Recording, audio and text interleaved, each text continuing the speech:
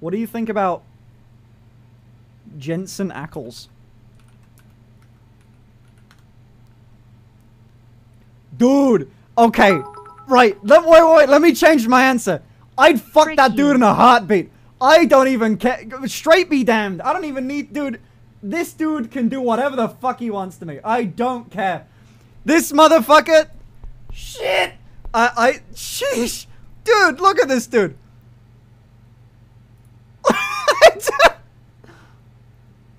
Bro,